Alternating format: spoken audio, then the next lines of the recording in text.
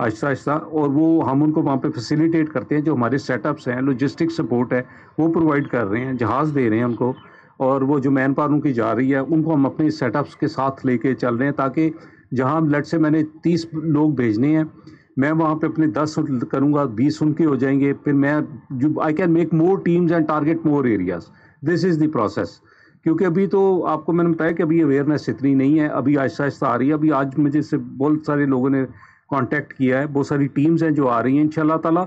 ये with in a week हम इसको बहुत एक्सपेंशन की तरफ़ चले जाएँगे इंशाल्लाह। अच्छा सईम साहब ये बताइएगा सर इधर लेफ़्ट पे आपके। सर इधर। जी। ये बड़ी खुबत है हमारी जरी पैदावार के साथ साथ। जी इसमें अभी तो हमने आ, नहीं कुछ किया। क्योंकि ये आपकी ऑब्जर्वेशन बिल्कुल ठीक है। लेकिन अभी हमें आइडिया नहीं है कि what we can do for that अभी नेक्स्ट फ़ेज़ में हम इसको देख लेते जो जो लोग इस चीज़ के एक्सपर्ट हैं मे बी हम उनसे फिर पूछ लेंगे कि how we can do it अभी तो मेरा ख्याल है कि we are will not be able to do it क्योंकि अभी मेन हमारा फोकस है इंसानों की जान बचाना। उनको क्योंकि देखें अगर हमारे कोई खुदा न खास्ता एक भी बंदा अगर भूख से उसकी डेथ हो जाए कि हम उस तक नहीं पहुँच सके तो उसके लिए हमारी पूरी नेशन कसूरवार होगी सिर्फ़ हम लोग नहीं होंगे। तो वो हमने सबसे पहले उनको वो टारगेट करना है। अ, मैंने जो हवा से देखा है वो किनारे नहर के किनारे पे उन्होंने अपने जानवर बांधे। मेरा ख्याल में वहाँ कोई ना कोई चारे का थोड़ा कोई अरेंजमेंट है क्योंकि मैं चारा कहाँ से लेके आऊँ? पूरा तो अब ये सब मेरी बात समझने की कोशिश करें। जी वो जी जी आपकी ऑब्जर्वेशन ठीक है बट अनफॉर्चुनेटली पानी है सर दोनों तरफ़ पानी है। जी। तो चारा कहाँ से मिलेगा उनको? यही मैं कह रहा हूँ कि चारा कहाँ से मिलेगा? अभी वो सिर्फ़ दरिया के किनारे था अब ये पूरे जहाँ पे चारा होता है वो वहाँ पूरे में पानी खड़ा है।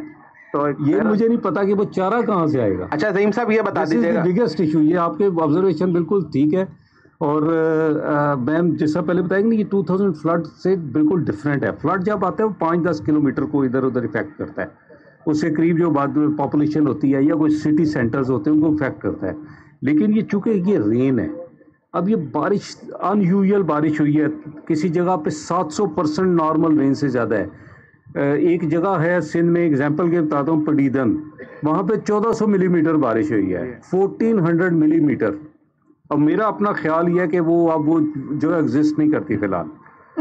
वो जगह है ही नहीं है वो ख़त्म हो गई आई डोंट नो वहाँ पे वो गाँव था एक कच्चे घर होंगे। मेरा नहीं ख्याल कि वहाँ कुछ बचा होगा। देर विल बी नथिंग इसी तरह जैकबाबाद में जो हमारा रिकॉर्डेड डेटा है उसमें कभी भी 300 मिलीमीटर से ऊपर बारिश नहीं हुई। जैकबाबाद में 900 मिलीमीटर बारिश हो चुकी है उसके इर्द गिर्द देखिए ये अनयूजल अनप्रेसिडेंटेड चीज़ है।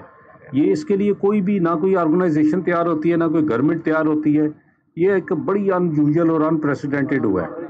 ये इसके लिए हमें बड़ा डिफरेंट तरीके से मैंने बताया ना कि इस वक्त स्ट्रैटेजी आपको डिफरेंट करनी पड़ेगी। ये वो जो नॉर्मल वो पहले हम जो करते थे ना क्योंकि वो फ्लड वाले निकलते थे लोग एक जगह आ जाते थे और इजी होती थी मैनेजमेंट इस बार मैनेजमेंट बड़ी डिफ़िकल्ट हो गई। तो इसके लिए सब लोगों का साथ चाहिए होगा। तो आज का मकसद भी यही है कि हम अवेयरनेस दें लोगों को। आ, हम जो एफर्ट्स कर रहे हैं वो थोड़ा सा आपको बता दें ताकि लोगों को थोड़ी इंश्योरेंस हो जाए कि we are worried about them and हम उनके साथ हैं। और इन ताला हम जो हमसे मुमकिन हुआ वो हम उनके लिए अच्छा जहीम साहब ये बता दीजिएगा यहाँ सबसे अहम सबसे अहम मामला आप ये कहा कि रिलीफ का सामान तो लोग दे देंगे और आप तक पहुँच भी रहा है और आप ऑपरेशन पूरे मुल्क में इसमें कर भी रहे हैं। लेकिन इस वक्त सबसे बड़ा मामला ये है कि मुख्तलिफ़ हुकूमतें हैं मुल्क के अंदर। यानी अगर सिंध के अंदर पीपल्स पार्टी है तो पंजाब और बलूचिस्तान के पी के अंदर जो है वो पी टी आई है और विफाक के अंदर जो है वो मुस्लिम लीग नून की हुकूमत है।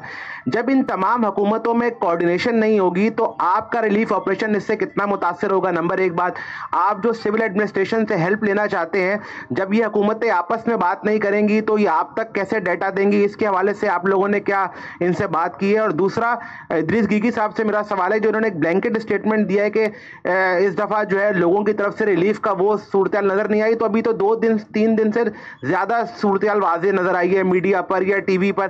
क्योंकि इससे पहले तो खुद ताजिर भी डॉलर के लिए परेशान थे, वो भी इस पर आवाज़ नहीं उठा रहे थे तो आज सिर्फ़ कराची के शहरी या मुल्क के शहरियों को कहना कि वो बाहर नहीं नज़र आए तो वो तो नज़र आ जाएँगे, लेकिन ये बता दीजिए कि अगर हुकूमतों में कोऑर्डिनेशन नहीं होगी तो इससे ऑपरेशन कितना नुकसानदेह होगा, जरा ये बता दीजिए। अच्छा हमारा ऑपरेशन इस पॉलिटिकल सिचुएशन पे डिपेंडेंट नहीं है।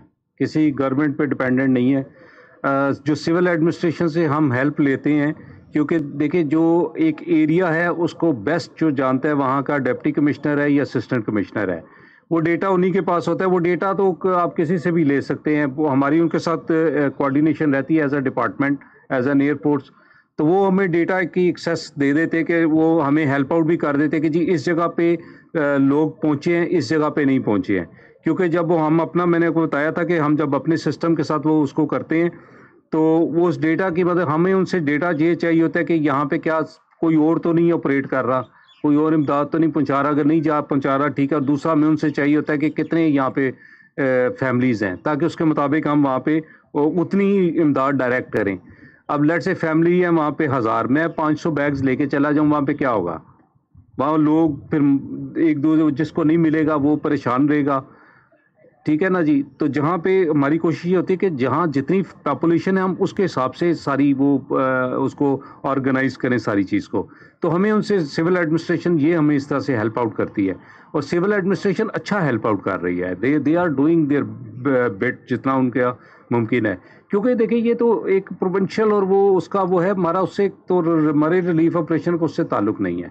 हमें प्रोविंशियल गवर्नमेंट के जो भी होगी वो हमसे रिक्वेस्ट करेगी we will provide them support हमें फेडरल गवर्नमेंट कहेगी कि जी ये आपने करना है तो we will provide them support तो हमारा चूँकि कोई हमें नहीं पता कि किस मतलब जस्ट स्मॉल के हमें नहीं पता कि किस प्रोविंस पे कौन सी गवर्नमेंट है। अच्छा हमारे लिए वो गवर्नमेंट है।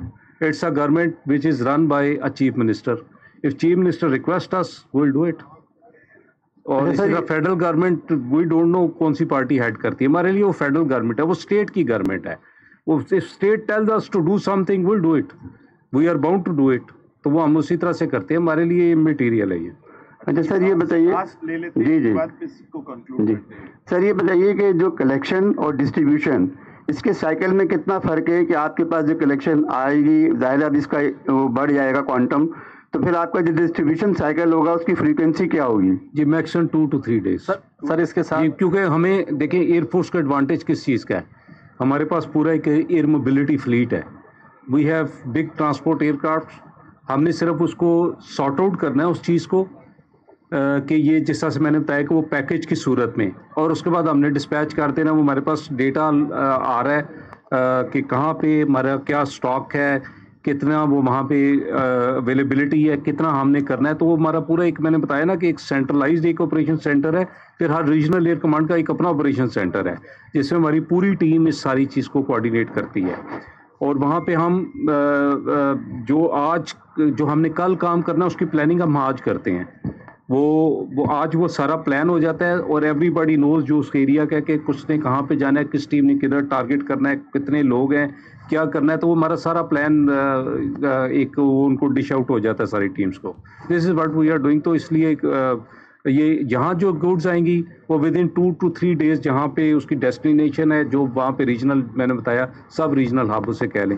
जैकबाबाद है, या सखर है सेवन है नवाबशाह है, मीरपुर ख़ास है, या बदीन का एरिया है ठट्ठा ये तलहार का एरिया है तो ये उससे immediately within two two three days वहाँ पे ये चीज़ें पोजीशन होने हो जाएँगी। क्योंकि वो पूरा एक हमारा एक साइकिल है और एयर ब्रिज हमने इस्टेब्लिश कर रहे हैं जिसमें वो देर इसी तरह नॉर्थ से जो चीज़ें आनी हैं, वो मैं, वो उनको डायरेक्ट कर देता हूँ कि जी हमें यहाँ पे ये ये चीज़ चाहिए।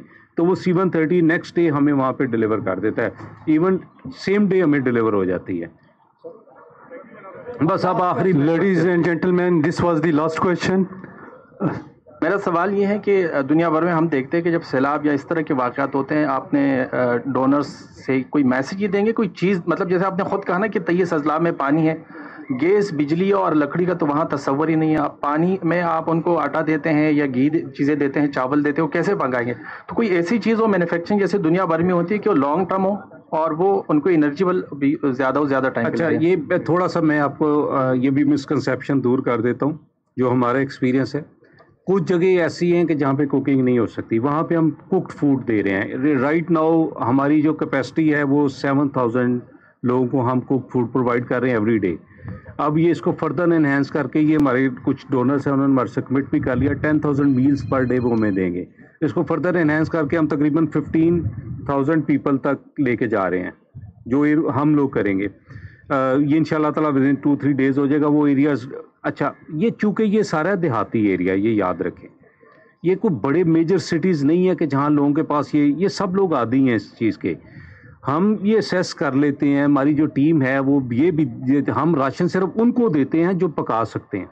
क्योंकि जो पका नहीं सकता ना, जिसके पास कुकिंग का कोई अरेंजमेंट नहीं है, वो उसको राशन देना बेकार है, वो ज़ाया कर देगा। ये मेरी बात समझ लें हम वहाँ पे राशन लोगों को प्रोवाइड कर रहे हैं, जहाँ पे वो कुक कर सकते हैं। कोई आप देखिए गाँव में किस तरह से लकड़ी, शकड़ी, ये सब अवेलेबल है। क्योंकि ये जो रिवर बैंक से किनारे बैठे हो, सबने अपना कोई ना कोई छोटा छोटा अरेंजमेंट इस तरह से किया हुआ है। They are not dependent on gas और एनीथिंग तो वो गाँव में जिस तरह से कर रहे थे, वो अपनी गाँव से उठे, उधर आके बैठ गए। तो ये रूरल एरिया का ये एडवांटेज है हमें।